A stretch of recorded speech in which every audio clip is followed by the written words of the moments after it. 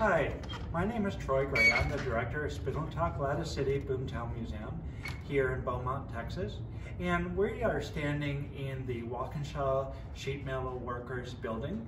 And we are, uh, we have 15 different buildings throughout. So each Friday, uh, I am going to stand in a different building, kind of talk a little bit about it, but really also just to show you uh, what we have here and why it's good to invest here. We are um, always offering our family members or our memberships or museum memberships. We are always offering building sponsorships and we're just asking that you go to our website and, and think about giving us a little bit of donation.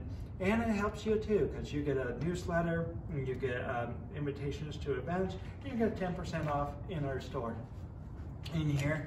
We have always tried to every building, tried to do something new and different. So right behind me, you can see this background picture. And it is easy to miss, but uh, what was up there was actually a torn picture, and we recently redid it with this really nice picture from downtown Beaumont.